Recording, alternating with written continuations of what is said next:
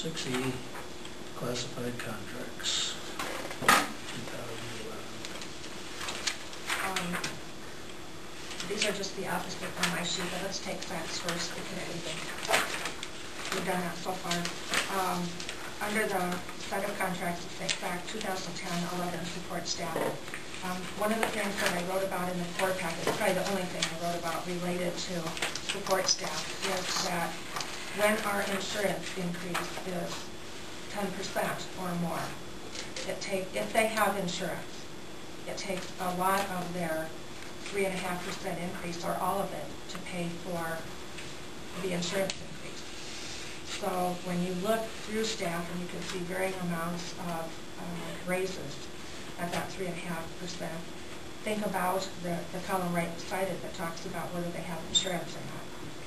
So if you've got someone who makes nine eighty-six an hour, um, and they have eighty-seven percent of their single insurance paid for them because they, their, got their, their hourly wage is, say, less than the ten, or eleven, or twelve dollars an hour, and then you take that ten, over ten percent increase in insurance, um, they're not gonna get much then on their salary, because most of the three and a half percent increase was eaten up, um, by insurance.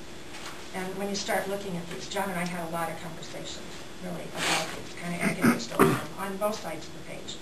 Because there are people who will, who will get a six cent an hour raise or nothing.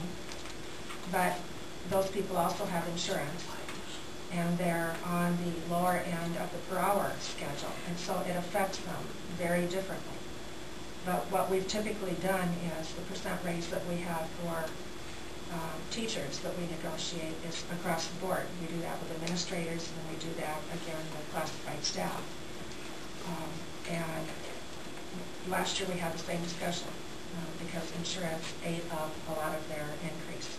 And believe me, after contracts were approved, I don't know about John, but I had a lot of conversation that came to me, a couple people very angry and insulted and sat down and talked to them about, but this is what the total amount is. Here's what went to your insurance, so this is what's left to put on here. Well, that's stupid. That's an insult to get a six cent raise. I said, well, you got more than a six cent raise. Your raise happened to come in insurance, so if you want more hourly raise, you're gonna have to give up insurance. But some of those conversations went better than others, you know. Um, They understood it, but they didn't like it.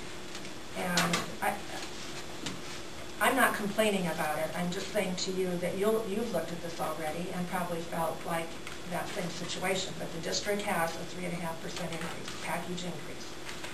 And that's, that's what this reflects, so, um,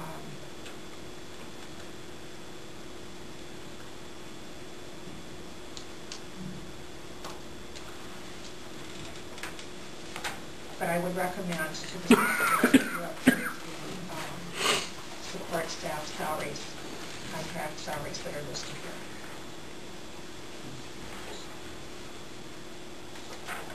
I'll move that we approve the salaries listed for 2010-11.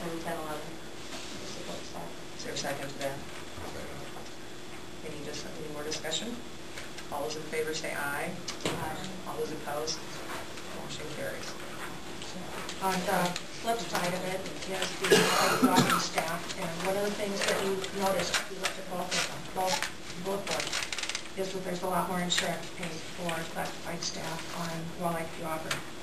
And um, that has been historically something that's happened at Walleye Auburn. It's been a lot of classified staff um, receive insurance if they work a certain number of hours um, per week.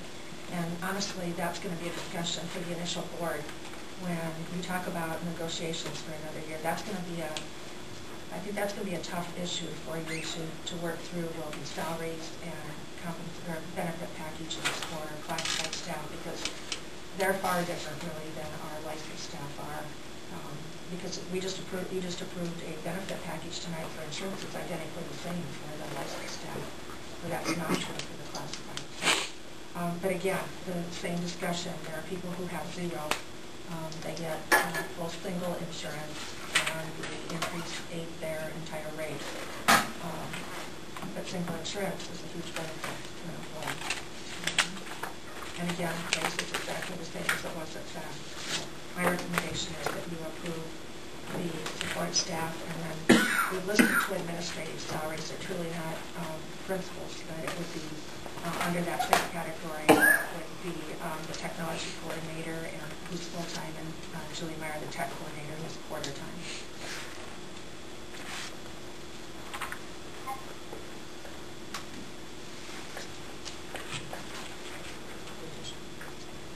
I'll make a motion, a motion to approve the support staff, staff and administrative salaries proposed.